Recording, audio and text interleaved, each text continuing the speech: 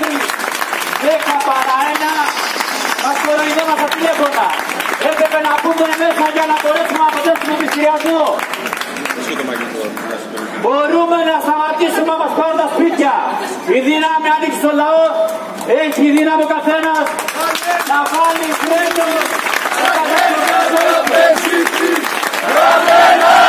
Σπίτι στα χέρια τραπεζίτη! Οι υπόλογοι για όλα αυτά είναι οι τράπεζες, η κυβέρνηση και όλοι αυτοί που στηρίζουν και όλα τα κοράκια που πέφτουν πάνω σε- στο λαό και ο ίδιος ο υπουργός.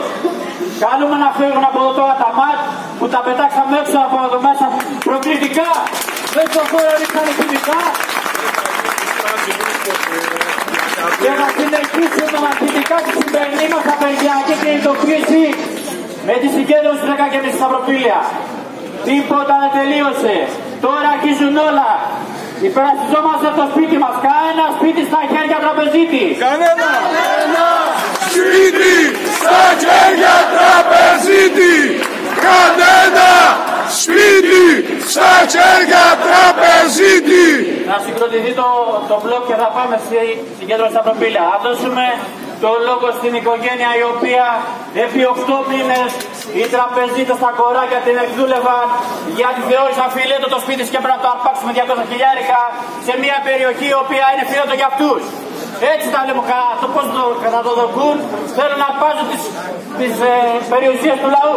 Να δώσουμε το λόγο στην οφειλέτρια.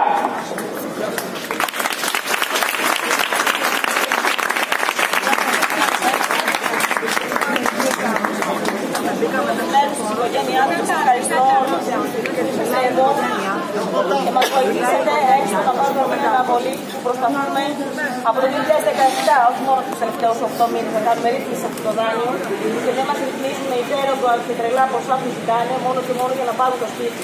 Θέλουν να πληστηριάσουν το σπίτι για 82.000 ευρώ χρέος ενώ αξίζει 500 και φαίνεται και στην έκθεση του πληστηριασμού αυτό. Σας ευχαριστώ πάρα πολύ. Δεν ζήτησα να με εξοφλήσει κανείς το δάνειο. Ζήτησα τρόπο να το εξοφλήσω μόνο με την οικογένειά μου, όπως κάνουμε όλα αυτά τα χρόνια και δουλεύουμε 42 χρόνια έχοντας ένα μαγαζί. Τίποτε άλλο. Σας ευχαριστώ πάρα πολύ.